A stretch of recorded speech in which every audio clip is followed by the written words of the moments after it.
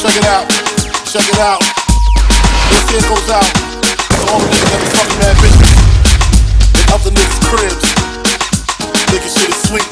Nigga creep up on your ass. Live niggas respect you. Check it.